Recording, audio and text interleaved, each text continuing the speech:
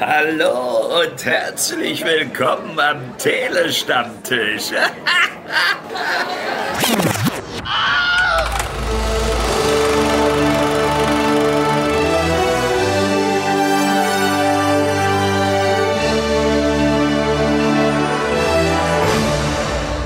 Hallo, willkommen am Pele-Stammtisch zur Besprechung des Films Ein Glücksfall. Und es ist ein wahrer Glücksfall für mich, dass sie heute an meiner Seite ist, nämlich die Lida ist da. Hallo Lida. Bonjour. Lida, wir haben das große Glück, die große Ehre und die große Freude, den neuesten Film von Woody Allen zu besprechen. Woody Allen, wer kennt ihn nicht, der macht jetzt auch, glaube ich, seit der Erfindung des Kinos Filme.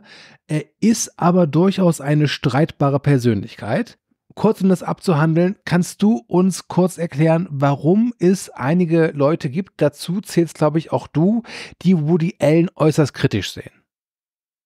Woody Allen ist halt ein pädophiler Perverser. Der hat seine Tochter missbraucht und das ist in meinen Augen unverzeihlich. Vielleicht, äh, und oh ja, und dann auch noch super creepy, er hat seine Adoptivtochter geheiratet.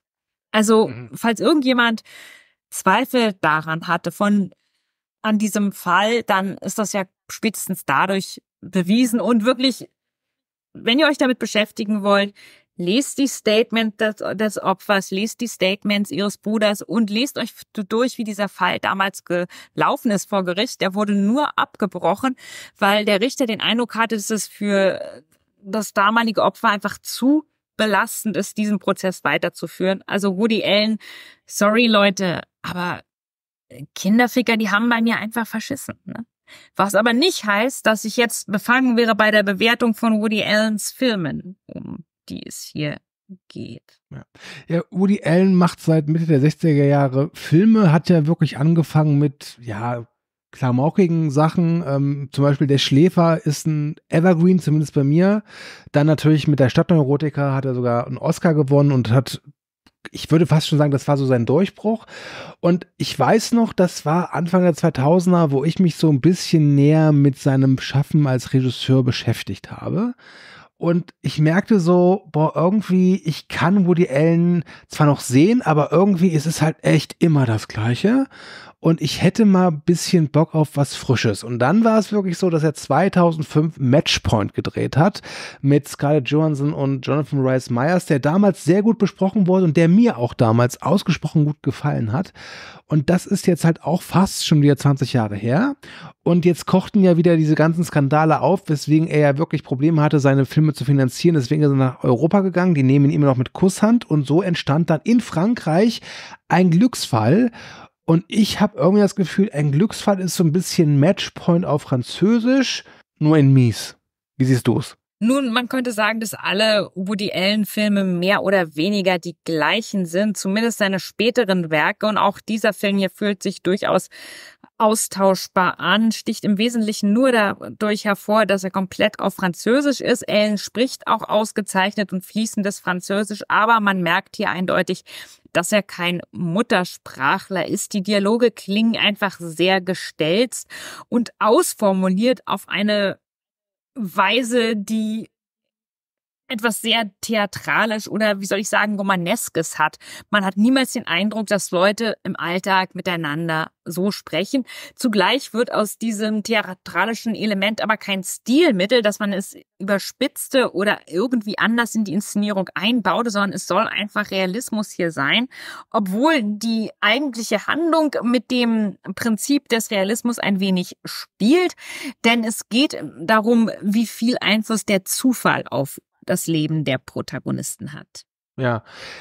Ich finde aber, dass er daraus nicht viel macht. Also diese, diese, die Macht des Zufalls ist schon sehr, ist schon präsent. Äh, Gerade am Ende gibt es halt so ein Zufallsereignis, was ja alles so ein bisschen durcheinander bringt.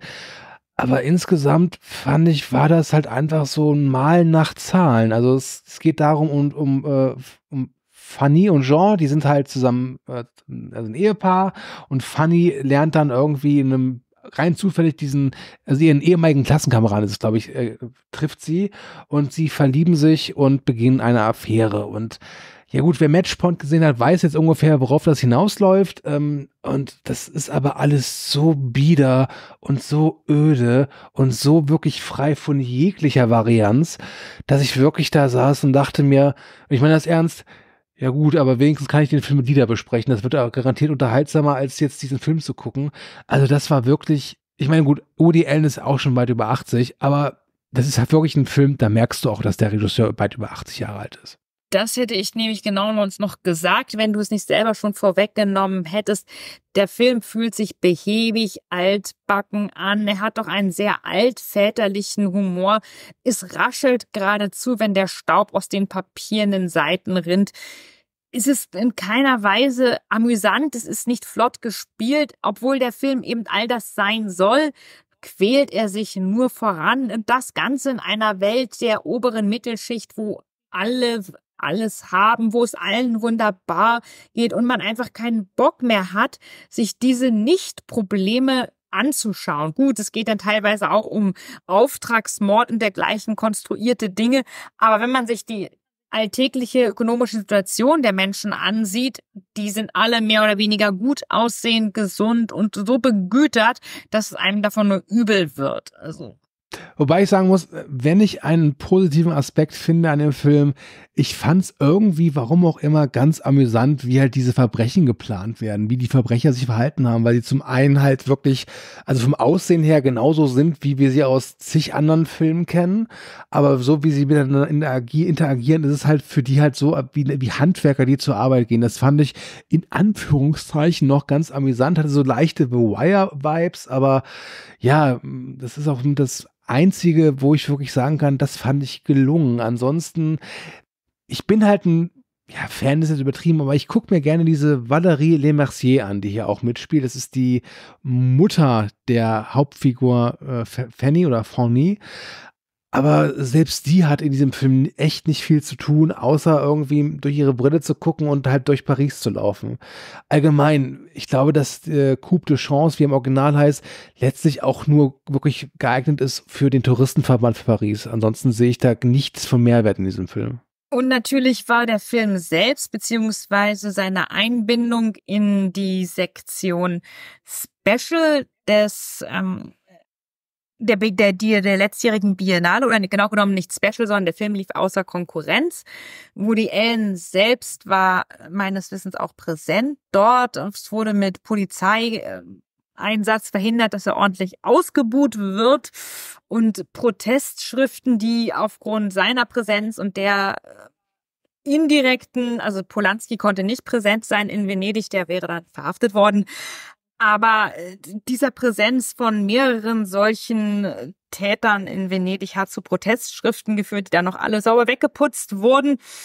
Und äh, ja, dieser sehr schlechte Film für mich in jeder Hinsicht nur Übelkeit erregend und auch überflüssig, gänzlich überflüssig. Hm. Muss auch sagen, ich habe tatsächlich äh, Woody Allens letzte Filme Café Society und Wonder Wheel auch nie komplett gesehen. Die habe ich irgendwann immer ausgemacht, weil es einfach nicht, nichts brachte. Ich glaube, einen Glücksfall hätte ich auch ausgemacht, wenn ich ihn zu Hause geguckt hätte.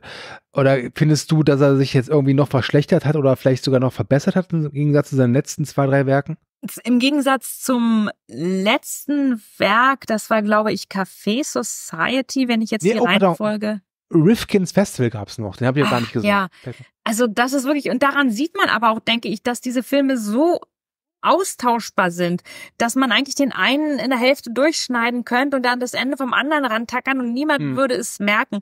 Auch dass sich immer noch Leute finden, die mit Woody Allen zusammenarbeiten. Er hat ja schon jetzt eindeutig Schauspielende der zweiten und dritten Liga genommen, da die Stars sich ihm glücklicherweise immer mehr entziehen. Das war vor drei, vier Jahren ja noch anders. Da hatte er wesentlich prominentere Besetzungen.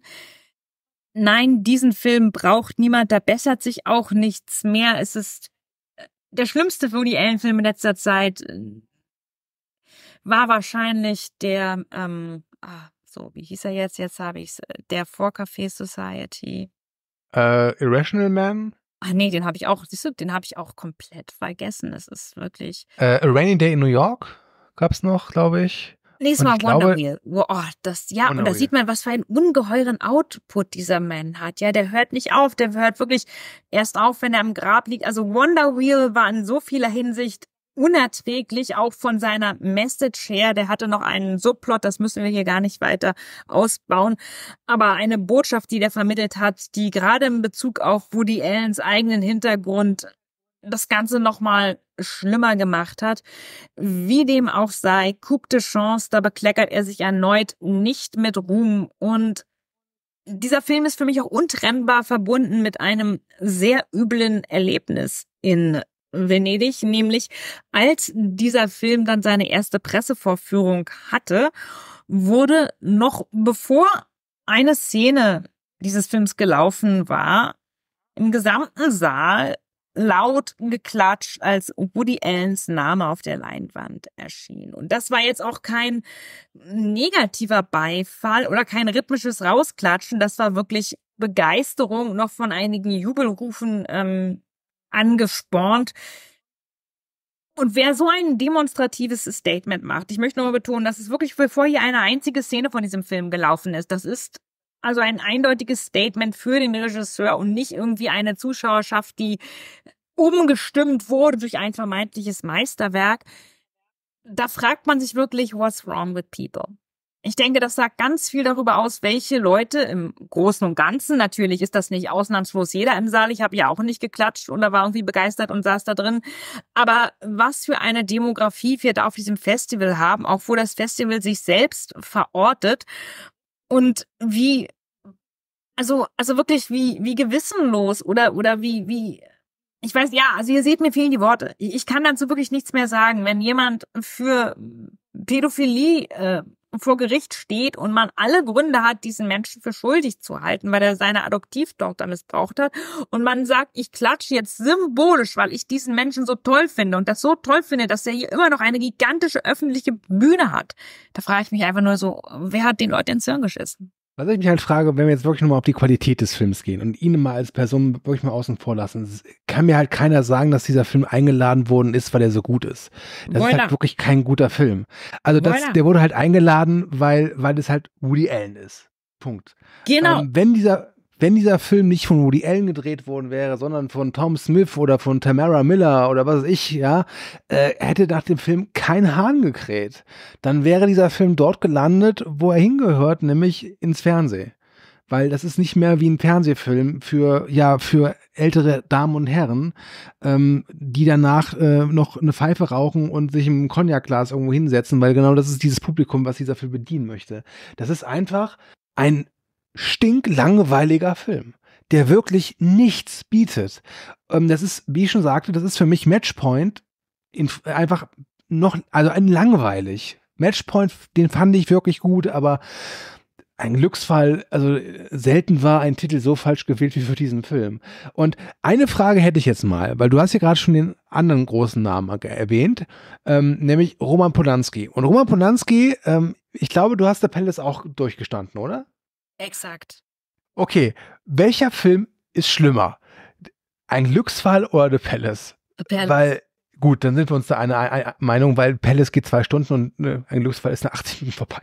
Ja, und da ist Glücksfall mehr sowas wie gepflegte Redundanz, äh, gähnende, altbackende Langeweile. Aber The Palace hatte dann noch eine ganze Reihe von pseudopolitischen Aufregerszenen drin, die einen äh, wesentlich übler aufgestoßen sind, wenn man jetzt rein auf der filmischen Ebene bleibt und die beiden Herren dahinter komplett ausblendet, als diese äh, Hohlheit von äh, Coupe de Chance. Und auch die Pinguin-Sex-Szene in The Palace war mehr als traumatisch. Ja, wobei tatsächlich, ich hätte im Glücksfall irgendwie gehofft, dass da noch irgendwas kommt, was mich zumindest irgendwie aufregt oder so, oder irgendeine Reaktion verursacht. Aber das ist halt wirklich so ein, ja, Bildschirmschoner, um es mal so hart zu drücken. Also, also wenn, wenn du, früher gab es ja diese Bildschirmschoner am PCs, die Älteren erinnern uns, und wenn es da eine Moody Allen-Variante gegeben hätte, dann, weiß ich, dann ist der Glücksfall, glaube ich, dabei rausgekommen. Also es ist, wie gesagt, ich, ich bin bei der Thematik bei Woody Allen nicht so richtig drin. Ich habe mir viele seiner älteren Sachen nicht angeguckt, aber nicht wegen, wegen der Vorwürfe, sondern einfach, weil sie an mir so vorbeigeschippert sind und weil sie mir auch mittlerweile vollkommen egal sind. Aber ich bin halt echt fassungslos, dass sowas in, auf dem Festival groß eingeladen wird, weil das kann mir keiner erzählen, dass es wegen der Qualität des Films ist. Nee, das ist halt wegen dem Namen. Und wenn man dann weiß, welcher Rattenschwanz dann auch hinten dran hängt, dann frage ich mich echt, was das sollte. Ähm, Woody Allen hat meiner Meinung nach wirklich herausragend tolle Filme gedreht.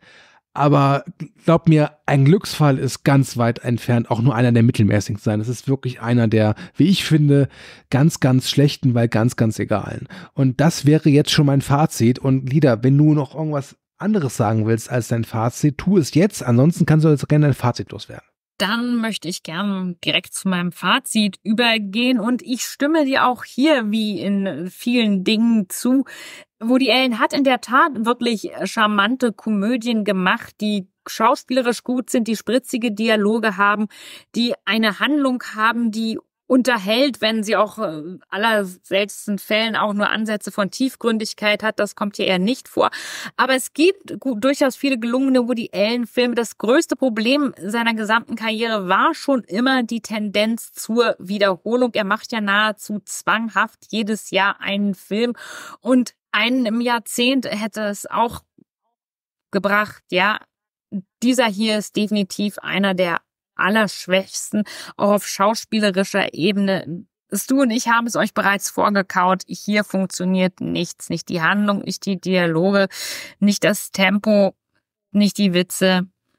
Glücksfall. Das absolute Gegenteil von dem, was der Titel sagt. Wenn das Lesen eines Wikipedia-Artikels im Bereich Handlung spannender ist als der Film selbst, dann hat das an nichts zu bedeuten. Damit sind wir hier durch. Vielen Dank fürs Zuhören. Denkt dran, Telestammtisch. Ihr kennt, ihr kennt das schon. Webseite www.tele-stammtisch.de. Hinterlasst einen Kommentar, hinterlasst ein Like, wo überall da, wo es Podcasts und Likes gibt, denn überall dort sind wir zu finden. Ich sage vielen Dank fürs Zuhören, wünsche euch noch eine schöne Zeit und Lieder, dir gebührt das letzte Wort. Au revoir.